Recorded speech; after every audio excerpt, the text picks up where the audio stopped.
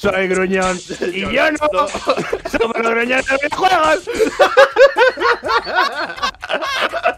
¿Te, ¿Te conté alguna vez mi historia con, con la Nintendo 64? Eh, si solo tienes una, creo que no.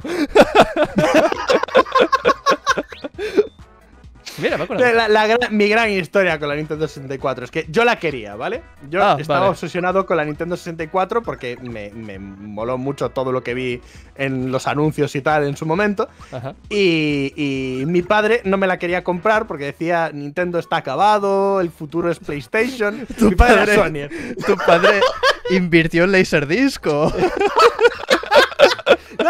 Verdad que en aquel momento eh, Ah. la Nintendo 64 no vendió mucho. Pues eh, la Nintendo 64 era muy cara y, y mi padre creía que estaba acabada y que no tenía ningún futuro y que era una pérdida de, de tiempo y dinero. Un tío con cabeza. Pero yo la quería. Entonces la. ¿Cómo? Un tío con cabeza, digo. Ahí está. Entonces la, la pedí tres años seguidos por Navidad. Vale. Y entonces al tercer año, supongo que ya se dio cuenta de que sí que la quería de verdad y que había varios juegos que quería y tal.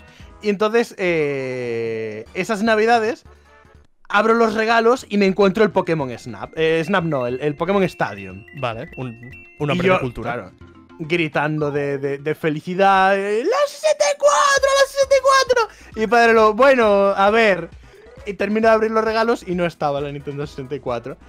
Y, resu- ¿Cómo? ¿Cómo? y resulta que una novia de mi primo me prestó la suya para que yo pudiese jugar a, a mi juego de Nintendo 64. ¿Te Y regalaron, la tuve. ¿Te regalaron el juego Y la, con la consola la de tuve- prestado? y la tuve unos meses. Y después de esos meses, mi primo y su novia rompieron.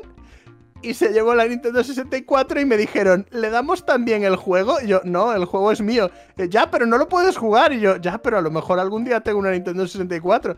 Y se lo regalaron a mis espaldas igualmente. ¿Y todavía, ¿Y todavía le hablas a tu padre, tío? Eso, eso no lo hizo mi padre, ¿ves? Eso lo hizo mi tía. Pero igual- igualmente fue bastante traumático, no te voy a mentir. Sí, tío. Joder, lo siento. A día Ahora, de hoy todavía me duele. ahora quiero, ahora quiero darte un abracito o algo, un besito en la frente. Necesito, tío. Sí. Creo que lo necesito. Y así en la espalda y, y Hostia. ya está. Ya está. Ya, y, y dejarme jugar un rato al Pokémon Stadium, ¿no? Cabrón. Hostia, es como. Eh. Es como Laura, pobrecita, que, que siempre quiso tener un patinete de niña Ajá. y, y nunca le regalaron un patinete.